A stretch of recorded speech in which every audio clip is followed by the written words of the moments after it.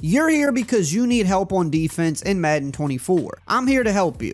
Now, defense can seem very overwhelming and very complicated at times, but the basics are really not that difficult, and I'm here to break it all down for you. The first thing we have to talk about is matching personnel. So when you're in a game, whether it's versus the computer or another opponent, let them pick their offensive play first. A little pop-up will appear on the screen that lets you know their personnel. It might say three receivers, one running back, one tight end, and basically you're going to use that to determine what you should come out in. If the personnel says that there's two wide receivers or less, you typically want to use a 4-3 formation or a 3-4. Depending on your playbook, you could have both like this playbook or you could have one or the other. But if they're coming out in two or less receivers, a lot of the time that means they're likely running the ball. So you want to come out in one of these heavier defensive sets that's equipped for that. Now, if you see three receivers, that's when you want to look at nickel formations. Now, the difference between nickel and the 3-4 or 4-3 is that with nickel, you have an extra cornerback on the field. So instead of having two corners, you have three. So if they're coming out with three receivers,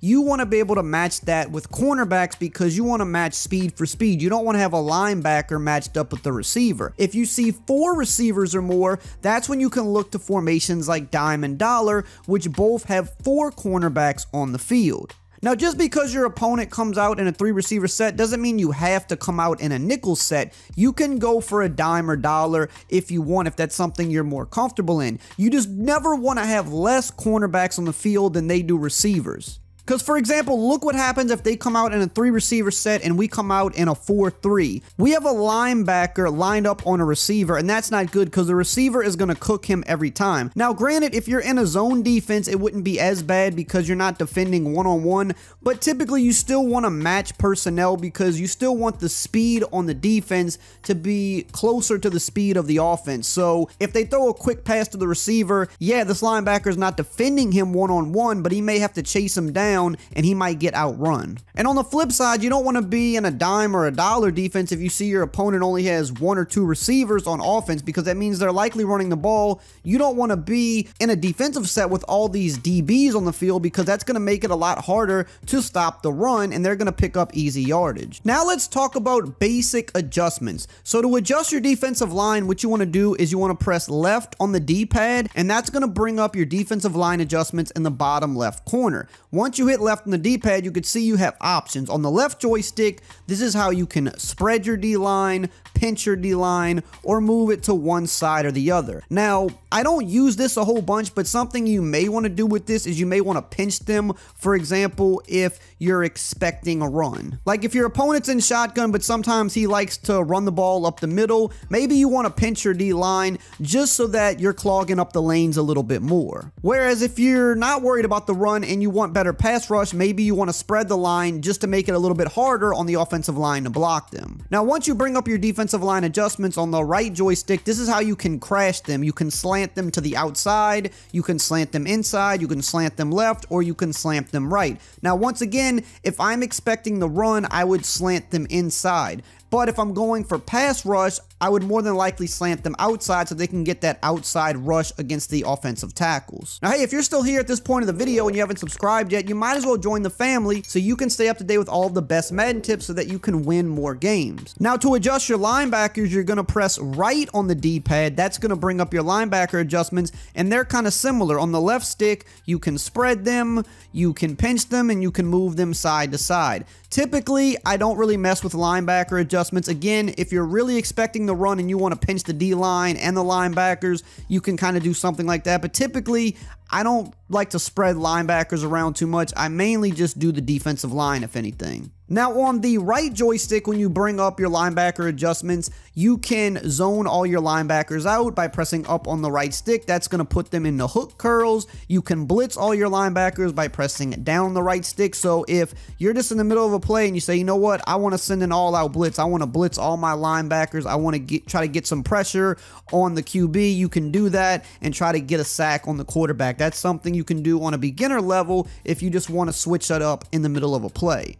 You can also just blitz the one on the left or the right by going left or right on the right joystick. So here, I'm just simply blitzing one of my linebackers instead of both of them. And if I decide I want to change my mind, I can always just go ahead and zone them back out really quickly as well by going right on the D-pad and up on the right joystick. So I can get them back into those hook curls and they're ready for coverage. And really quickly, I do want to mention that I also have a Patreon page with higher level Madden tips, strategies, and ebooks that will help you dominate your opponents. So if you want to take your game to an even higher level, you can check the link out in the pinned comment below. Now to adjust the secondary, you want to press the Y or triangle button, and here on the left stick you can see that you can give cushion by backing off your secondary. That's something you might want to do at the end of half or the end of game if you just want to make sure they're going to get back further and don't easily get beat over the top. If you want to press them, you go down on the left stick after pressing Y or triangle. Typically, I'm only going to press if I'm in like a man defense, for example, if I want to get a jam on the receivers, but keep in mind that sometimes a good receiver could get off the press quick and beat you, so it's kind of of risk versus reward. Now on the right joystick, you can shade your secondary. So if you also want to give extra protection over the top, you can go up on the right stick to shade over the top, which basically they're just going to bail out a little bit further, whether they're in man or they're in zone. Now shading underneath is actually a very underrated tactic that can be used to stop underneath routes like drags and flats, which people usually have a lot of trouble with. So right here, I have two drags on the play, and the defense is in a standard cover three, and I want you to see what happens. We can dink and dunk underneath, usually pick up five yards, sometimes a little bit more, depending on the defense. Now, if someone's doing that every play, throwing to the flats, throwing the short drag routes, and you want to stop them and you're in a zone like a cover three, a cover two, or a cover four, you can press Y or triangle down on the right stick, and notice how now those purple zones have turned into light blue hard flats. Also, these two hook curls are going to play a little bit more aggressive as well. Now, when we try to throw these drag routes, you'll see that they're all over it, and we almost got to interception interception there. And a lot of times you will get an interception and it'll go to the house because you've told your defense to play underneath. Just keep in mind when you tell your defense to play underneath, you're going to be giving up some deeper passes too. So it's again risk versus reward, cat and mouse. If your opponent's spamming underneath, occasionally shade your zone coverage down and try to get an interception or a big stop. Now here's another example. I'm in a cover two, but I have shaded down. So watch what happens if I try to throw this quick flat to the A receiver. Notice how the corner is there and just what I said, it's a pick. And when you get those type of picks, they're going to go to the house because there's nobody in front of them. So if someone's spamming underneath, shading your zone coverage down is one of the best things you can do. Now, when it comes to adjusting, you can also adjust players individually. Now, for more beginners, I don't really think you should touch the secondary players. You want to leave those guys alone because you can easily put them in the wrong assignment and just give up one play touchdowns. If you want to adjust secondary players, just do the shading like I just told you to make them play either more aggressive over top or underneath. But when it comes to linebackers, for example, these are great players to adjust because it can kind of help you throw something different at your opponent on any given play. So for example, right here, I've got Eric Kendricks and a hook curl, but maybe I want to defend the flat, but I don't want to shade down and I don't want Derwin James playing the flat. I want him to play a little further back in the assignment that he's in. Well, I can take this guy right here. I can press the A on Xbox or X on PlayStation button, and you can see different assignments come up that I can put him in. I can blitz him, I can man him up, I can drop him back, I can put him in a middle read, I can put him in a hard flat. So the hard flat is right on the right stick. That's what I'm going to put him in. So now I've kind of got double coverage on the side of the field. If the running back goes to the flat, he would take the running back. And this guy here, Derwin James, would continue to drop further back right here. Maybe I want to man this guy up on the running back. Again, I press A or X up on the right stick for man coverage, and then I choose who do I want to man him up on. I want to man him up on the running back, which is RB, so I select RB. Now he's manned up on the running back. And one of the most important adjustments you can use when doing this is actually using the QB spy adjustment if you're dealing with fast quarterbacks. This will allow this player to follow the QB, and if he starts to scramble, he will attack. But you don't want to be using this guy. If you're putting him in a specific assignment, you want to get off of him and let the computer user him, and then you're going to take this guy and try to just stay home in your area. You can also use the adjustments on the D-line if you want to drop some extra coverage back. Let's say I want to drop Joey Bosa back, which probably isn't a good idea because he's going to be better rushing the passer. But let's say you want to just quickly throw something different at your opponent. You can drop him back into a vertical hook or something, whatever you want to do just to give some extra coverage on the field and try to catch your opponent off guard. So let's talk about containing mobile QBs next. We switched up to the Eagles here so we can have a faster quarterback.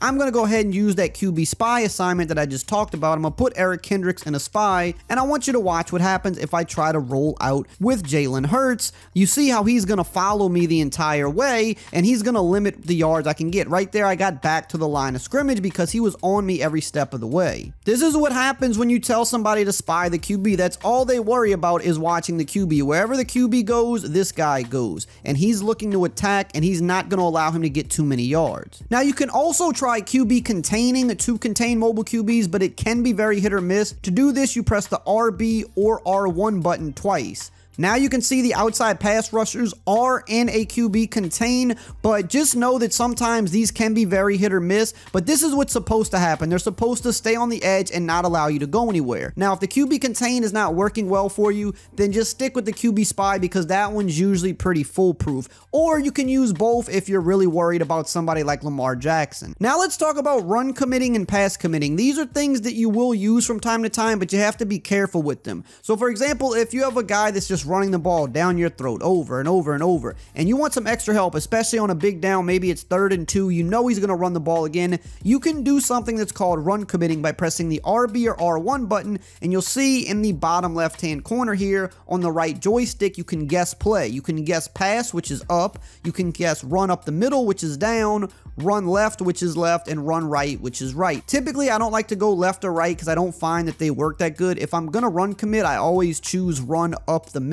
And what's going to happen is everybody's going to immediately come forward, and you should stop the run. Now, this can be hit or miss sometimes in Madden as well because Madden is weird and doesn't always work properly, but it's usually not going to make you any worse off. Now, the thing here is you don't want to run commit too much because a smart player will start banking on the fact that, hey, he's probably run committing here. And then what they'll do is they might come out in a set where they normally run the ball and instead they're going to pass and everybody comes forward and then you give up a one play touchdown. So when you are run committing, you have to really be careful and choose your spots to use it. You don't want to get too trigger happy with it, calling it way too often because you will get caught lacking. Now, pass committing isn't as dangerous because you're not going to give up a one play touchdown if you guess wrong on a pass commit. You will give up some yards on the ground if they do run the ball, but it's nothing major. But if someone's really hitting you with a lot of play actions and you can't seem to get to the QB, your defense keeps getting faked out, pass commit works wonders versus play action because